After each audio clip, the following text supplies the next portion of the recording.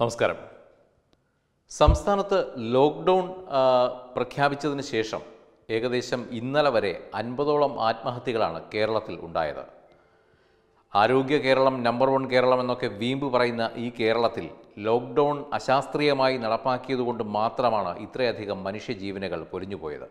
കോവിഡിൽ മരിച്ചത് വേറെ അതും ഈ- ഈ കോവിഡ് നേരെ ചൊവ്വെ നിയന്ത്രിക്കാനാവാത്തത് കൊണ്ട് മാത്രം സംഭവിച്ച മരണങ്ങൾ. അത് കണക്കിൽപ്പെടുത്താതിരുന്നാൽ പോലും ഈ ആത്മഹത്യകൾ നമുക്ക് തള്ളിക്കളയാവുന്നതല്ല. കാര്യം ഇത് ഇതിൽ സർക്കാരിനുള്ള ഒരു പങ്ക് വളരെ വലുതാണ്. കാര്യം അശാസ്ത്രീയമായി ഈ ലോക്ക്ഡൗൺ നടപ്പിലാക്കിയത് തന്നെയാണ് ഇത്തരത്തിൽ ആത്മഹത്യകൾ പെരുകാൻ കാരണമായതെന്ന് ഇപ്പോൾ ഈ രംഗത്തെ വിദഗ്ധരും ചൂണ്ടിക്കാട്ടുന്നുണ്ട്. എന്നിട്ടും സർക്കാരിന് ഇതിൽ യാതൊരു കുലുക്കവുമില്ല. ഇങ്ങനെയൊക്കെ സംഭവിച്ചതിൽ ഒരു കുറ്റബോധം പോലും രേഖപ്പെടുത്താൻ സർക്കാർ ഇതുവരെ തയ്യാറാകുന്നുമില്ല. പ്രത്യേകിച്ചും നമ്മുടെ മുഖ്യമന്ത്രി.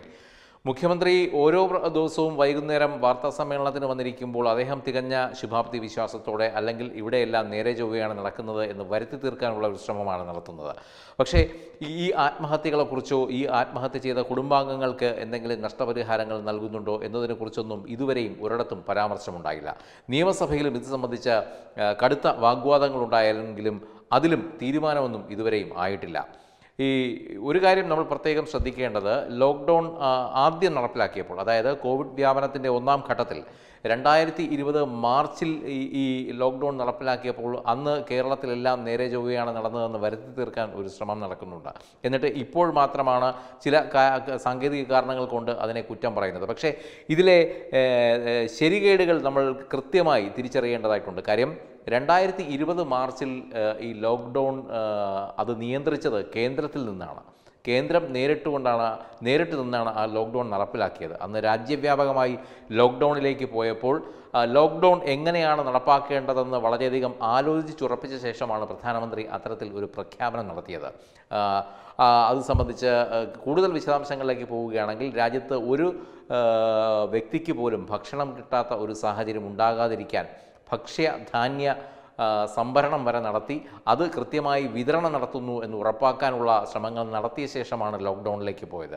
അതുമാത്രമല്ല വായ്പാ തിരിച്ചടവാണ് എല്ലാവർക്കും വലിയ ഒരു ബാധ്യതയായി മുന്നിൽ നിൽക്കുന്നത്. അതുകൊണ്ട് തന്നെ അന്ന് ബാങ്കുകളുമായി ആലോചിച്ച് കൃത്യമായ മൊറട്ടോറിയവും പ്രഖ്യാപിച്ചിരുന്നു.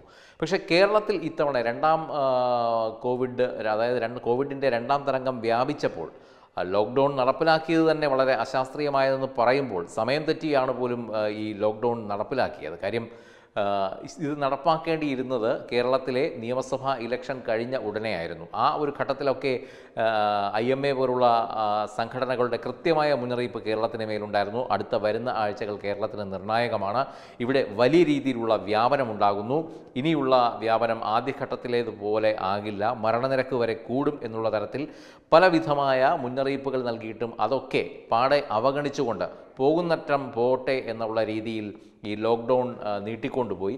എന്നിട്ട് എന്നിട്ടും ഗത്യന്തരമില്ലാതെ വന്നപ്പോൾ ദിവസ കണക്ക് നാൽപ്പതിനായിരം കടക്കുന്ന ഒരു വേളയിലാണ് മെയ് ഒൻപതിന് കേരളം വീണ്ടും സമ്പൂർണ ലോക്ക്ഡൗണിലേക്ക് പോകുന്നത്. ആ ലോക്ക്ഡൗൺ നടപ്പാക്കിയതിൽ തന്നെ ഒട്ടേറെ അശാസ്ത്രീയത ഉണ്ടായിരുന്നു. അശാസ്ത്രീയത എന്ന് പറയുമ്പോൾ ലോക്ക്ഡൗൺ വീണ്ടും വിചാരമില്ലാത്ത ഒരു ലോക്ക്ഡൗൺ ആണ് ഇപ്രാവശ്യം ഇവിടെ നടപ്പിലാക്കിയത്. ഒന്നിരാടം ദിവസങ്ങളിൽ ബാങ്ക് പ്രവർത്തിക്കുന്നു. ശനി ഞായർ- ദിവസങ്ങളിൽ സമ്പൂർണ ലോക്ക്ഡൗൺ. പിന്നീട് അത് മാറ്റി ചില ദിവസങ്ങളിൽ കടകൾക്ക് ഇത്ര സമയം മുതൽ ഇത്ര സമയം വരെ പ്രവർത്തിക്കാം എന്നാകുന്നു.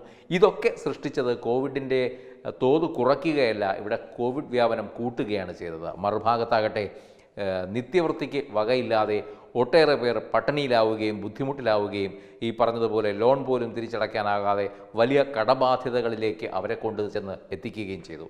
ഇതാണ് അൻപതോളം പേരുടെ ആത്മഹത്യയ്ക്ക് കേരളത്തിൽ ഇടയാക്കിയത്. വടക്കേ ഇന്ത്യയിലൊക്കെ ഒരാൾ എന്തെങ്കിലും സംഭവിച്ച് മരിച്ചു കഴിഞ്ഞാൽ വലിയ തോതിൽ വിപ്ലവങ്ങൾ ഉണ്ടാക്കുന്ന നമ്മുടെ സാംസ്കാരിക നായകന്മാർ കേരളത്തിലെ അൻപതോളം മനുഷ്യജീവനുകൾ ഇവിടെ ഈ അശാസ്ത്രീയമായ ലോക്ക്ഡൗൺ നടപ്പിലാക്കിയതിലൂടെ പൊലിഞ്ഞിട്ടും അതിനെതിരെ ശബ്ദമുയർത്താൻ ഒരാളും തയ്യാറായിട്ടില്ല എന്നതാണ് ഏറ്റവും സങ്കടകരമായ അവസ്ഥ. ഇത് തന്നെയാണ് ഇപ്പോൾ സമൂഹ മാധ്യമങ്ങളിൽ ഒരുപക്ഷെ ഏറ്റവും കൂടുതൽ കഴിഞ്ഞ മണിക്കൂറുകളിൽ ചർച്ച ചെയ്യുന്ന ഒരു വിഷയവും. ഒരർത്ഥത്തിൽ പറയുകയാണെങ്കിൽ മുഖ്യമന്ത്രി ഇതിന് മറുപടി പറഞ്ഞേ പറ്റൂ. അൻപതോളം പേരുടെ ജീവനാണ് സ്വ താൻ ഭരിക്കുന്ന സംസ്ഥാനത്തിലെ അൻപതോളം പേരുടെ ജീവനാണ് തന്റെ ഗവൺമെന്റ് നടപ്പിലാക്കിയ അശാസ്ത്രീയമായ ലോക്ക്ഡൗണിലൂടെ പൊലിഞ്ഞുപോയത്. ഇവരെ എന്ത് പറഞ്ഞാണ് ഇവരുടെ കുടുംബാംഗങ്ങളെ ആശ്വസിപ്പിക്കാനാകുക? എത്ര തുക നൽകിയാനാകും ഇവരുടെ നഷ്ടങ്ങൾ നികത്താനാകുക? ഉത്തരം പറയാൻ ഗവൺമെന്റും ഗവൺമെന്റിന് നേതൃത്വം നൽകുന്ന മുഖ്യമന്ത്രിയും ബാധ്യസ്ഥനാണ്. വെബ് ഡെസ്ക് തത്തുമൈ ന്യൂസ്.